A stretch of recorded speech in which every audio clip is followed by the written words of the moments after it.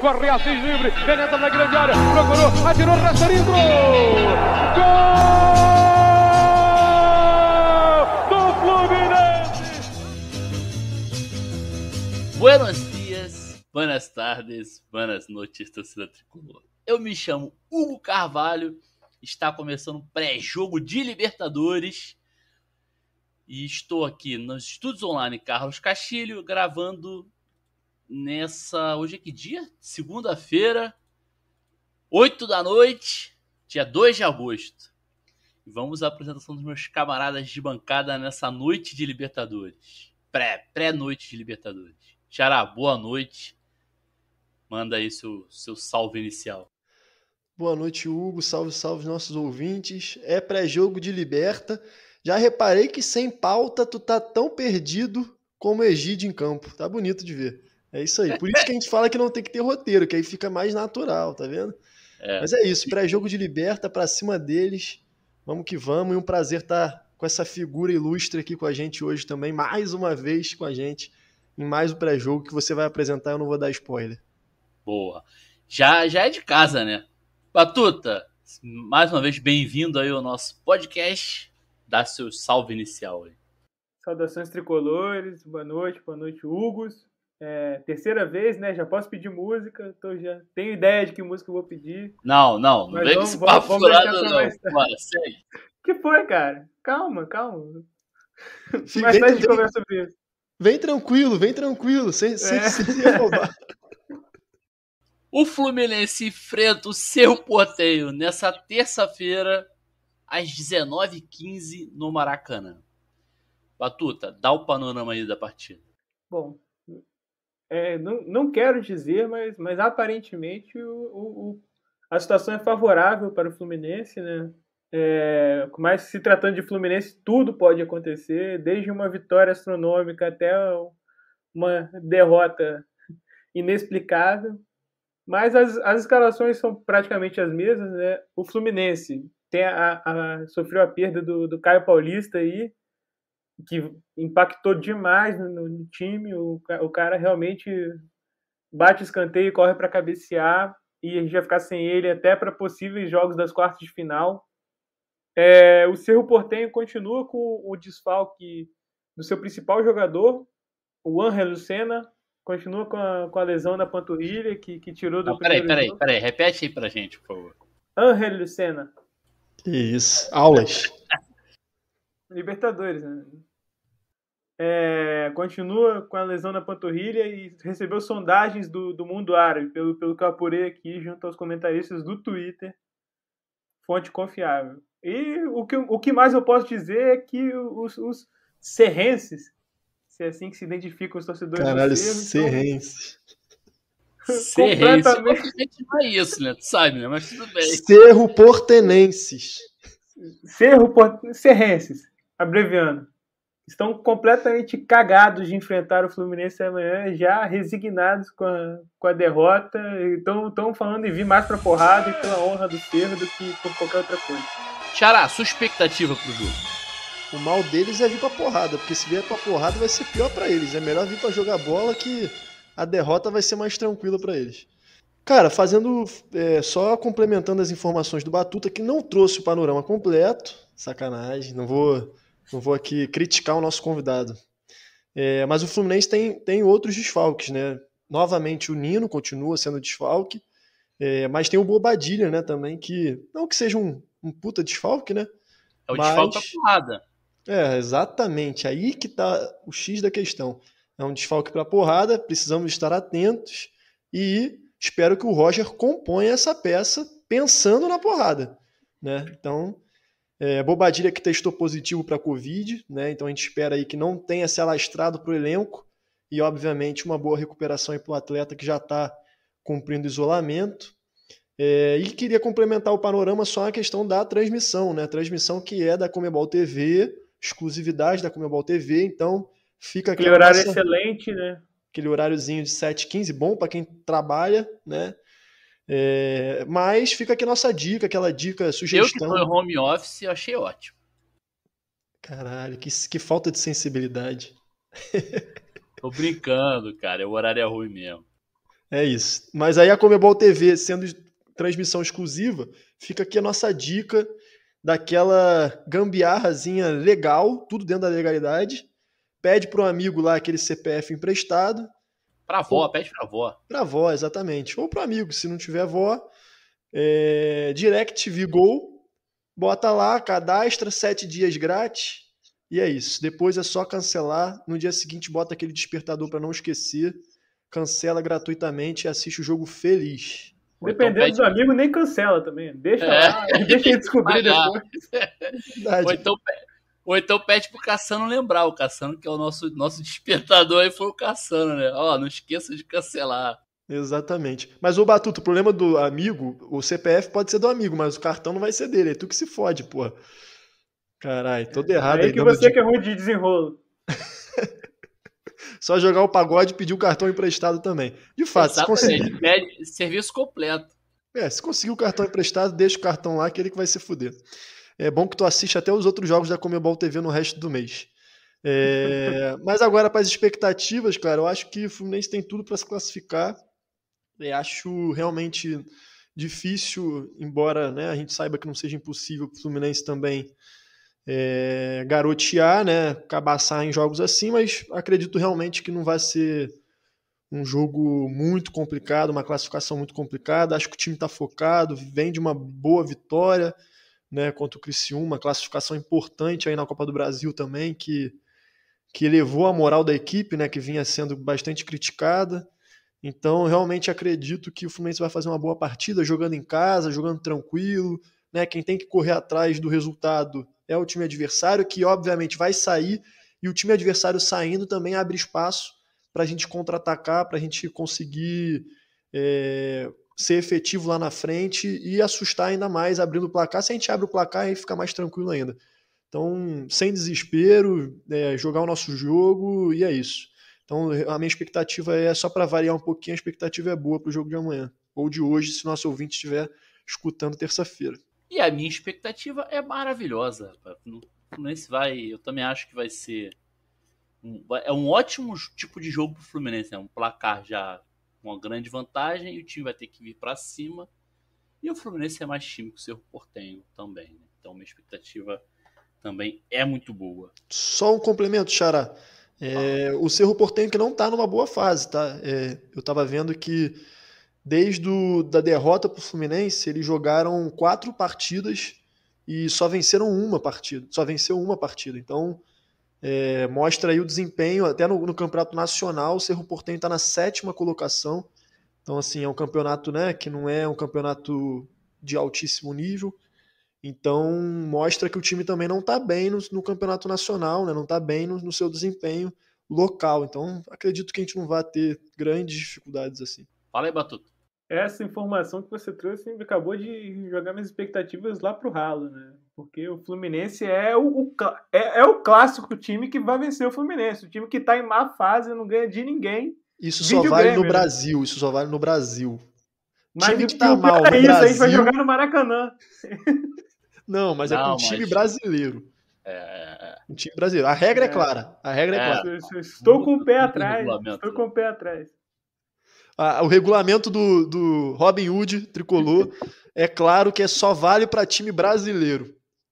Ótimo, ótimo. Vou devolver, Xará. Manda bala aí na escalação. Qual a escalação gabarito aí pro jogo?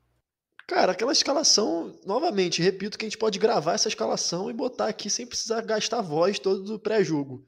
É... Marcos Felipe no gol, né, o melhor goleiro desde Cavalieri, pós-Cavalieri, já tá na certidão dele. Samuel Xavier na direita, e aí a nossa zaga, né, tendo em vista o desfalque do Nino, vem com Manuel e Lucas Claro. E na esquerda, nosso saudoso Egídio, né, Gidão, Dom, Dom, Dom, Dom, Dom. Ponto e vírgula, do jeito que Menescal boa, gosta. Boa, boa. Martinelli, Iago e Nenê.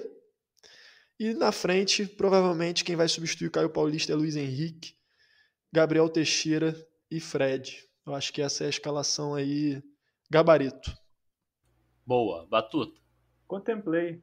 Contemplou. E gostaria ah. de, de fazer um adendo. Fácil. Que Egídio, apesar de tudo, e contra tudo e contra todos. Egídio. É isso. Simplesmente Gidão. Cara, mas o Egídio, o Egídio, ele melhorou nos últimos jogos aí, né? Deu uma paçocada aí num, num desses aí, mas... O problema do Egídio, cara, é que ele dá um... Ele apaga, acho que ele... É bizarro. É, cara, mas assim, É, ele vem... é- é- é difícil de explicar. É difícil. Mas no do ataque nada. ele, tem- ele tá bem, ele tá bem. Não deviam pegar tanto no pé dele, sabe? Eu acho que já passou o susto que a gente tomava, agora eu acho que já tá esperado, assim. Então acho que tem que ter uma tolerância com ele, até pra saúde de todos, assim, nossa e dele, assim.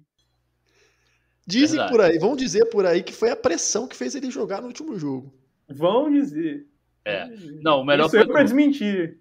O melhor foi na resenha. Não, pô, viu? A pressão surtiu efeito. Falei, ah, sim, ele acertou um cruzamento que ele acertou 100 vezes. Já tive que responder, né? 100 vezes na carreira ele acertou por causa da pressão. Mas tudo bem. É, vamos aos palpites. Quem quer começar aí com os palpites? Batuta. Vai, Batuta, manda bala. O Xará jogou ba- abacaxi Não pra queria, não queria que Não, fosse porra. assim, mas A acho que vai posição, ser. a posição de começar, a posição de começar é boa zona no palpite, pô. Tu pode botar o palpite que tu quiser. O problema é quando metem lá 1x0, 2x0 e tu se fode. Tem que apostar no 3x0, porque gol do adversário é sacanagem. Eu sei bem como é que é isso. Eu sei bem como é que é isso. Exatamente, tu se fode. Então eu vou deixar o convidado começar hoje. Eu tô sentindo um a um, dois a um pra gente, mas eu tô sentindo que vai ser o coração na boca. Um a um ou dois a um? Escolhe, pô. Não, vai tomar. Caralho, Dois vai a um, tomar dois a um, gostoso. dois a um, dois a um, dois a um. Porra, vai tomar no cu sem ser gostoso. Dois a um. 1x1 é sacanagem. Expulsa o Batuta um. agora dessa gravação, cara. Dois a um, dois, não. Vamos- Fala os gols, fala os gols. Gol de Abel Hernandes e Luiz Henrique. E o deles eu não faço a menor ideia. Provavelmente Não, deles ninguém quer saber. Ainda bem, tá né? errado colocado, pô. Não é nem pra colocar, deles ninguém quer saber, não. Beleza. Ceará, teu palpite. O cara ficou em dúvida entre 1x1 e 2x1. 1x1 é empate com gol do adversário ainda. Ou seja, pacote Não, é- completo. É, é- Essa estatística que o Hugo trouxe, de que o Cerro não ganha de ninguém há, há 1.500 anos, eu tô realmente muito preocupado com isso. Eu, eu cheguei aqui falando, pô, vou, vou sugerir um 3x0 de novo, uma nova boa partida exige, mas só que isso me destabilizou. Todo o roteiro que eu tinha feito aqui, eu tive que riscar. Tá melhor Cara. que eu, que não fiz roteiro nenhum. Exatamente. Sempre tem alguém na pioca. 20 anos de curso e o maluco vem aqui com dúvida de botar um a um no placar, meu irmão. Um a um. Caralho. Só teve uma vez que isso aconteceu aqui no podcast. Que foi num Fla-Flu, não foi?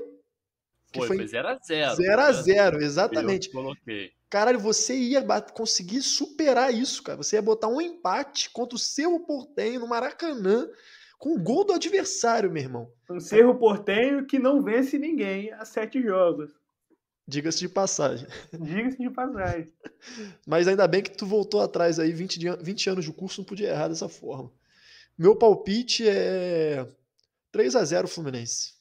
3 a 0 vamos, vai ser aquela vitória maiúscula pra galera falar: caralho, mas não encantou, só teve 30% de posse de bola. Tomar no cu sem ser gostoso, 3 a 0 na Foda-se, conta. irmão. É, porra. 3 a 0 gol de Dom Fredon, Luiz Henrique e Lucas Claro. Eu vou de. Não vou manter meu placar tradicional, não. Hoje eu vou de 2x0. Ousadia e Fred, alegria, hein? Ousadia e alegria. É, meu irmão. Ei, vamos sacudir os caras. 2x0. Fred e Luiz Henrique. Mais algum complemento aí sobre. Mais uma cornetada aí no, no palpite do Batuta? Ou não? Tá bom. Já Não, tá de boa, tá de boa. Tá de boa, já, já errou. Ele ainda, só pra, só pra é, frisar aqui, ele ainda queria, ainda se preocupou em falar o gol, qual seria o autor do gol do adversário, meu irmão. Porra, ninguém Eu não quer sei saber nem, disso. eu não sei nem o nome do jogador do Cerro Portenho, cara. O cara queria citar quem que era. não é pela metade. Puta que pariu, Batuta. Eu vou te perdoar por hoje. Mas, porra, Eu estudei- hoje, hoje você Eu superou. Eu estudei com afinco o time do Cerro Portenho para vir aqui fazer o panorama. Eu tive essa responsabilidade. Então eu, eu me senti no dever de, de A trazer casa informação agradece. A casa para os nossos leitores que nos escutam. É isso. Aqui tem informação. É, a casa agradece, mas não mete mais o gol do adversário, não, por favor. Exa- exatamente. Gastou tua vida. Estamos chegando ao final de mais um pré-jogo. Eu falei meu palpite? Falei, falei. Falou, pô, cara, a amnésia tá batendo forte. Tá virando pai, tá fudido, hein, cara.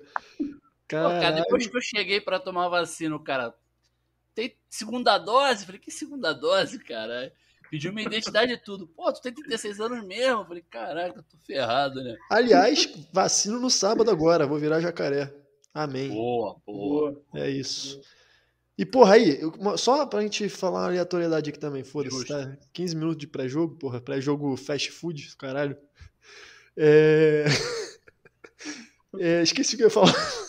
É muito bom. É, beleza. É bom que vai passando o tempo. Não, eu ia. Ah, lembrei, lembrei. Cara, você imaginou o desafio se a gente abrisse pra galera do Twitter dar o palpite, cara? Que trágico que seria. Que não. Ia ser pior que o Batuta, cara. Ia ser pior é, que o é, Batuta aqui. É. Ia ser 200 mil reais. Ia ser palpite básico. 2x0 os caras com gol de. Porra, ia falar até o nome do, do, do autor dos, dos gols. Não, eu ia falar o touro, passe de fulano. Agora, 2x1 um, os caras e o gol do Fluminense, porra, não sei quem vai fazer não, mas os dois dos caras eu sei. Fulano e Cicano. Porra, maluco. Ai, ai. Pode ir agora, agora tá liberado. Beleza. É, eu vou, vou, Vamos para o encerramento. E eu não dei o recado no início, vou dar o recado agora. Segue a gente nas redes sociais, no barra ou arroba é proibido remar. Pede para entrar na resenha também, se você não está está perdendo um show de aleatoriedades, cornetadas e brigas desnecessárias. Entra lá, pede pra gente nas redes sociais que a gente manda o link para você participar, ver o Batuta aí pedindo pro povo cantar.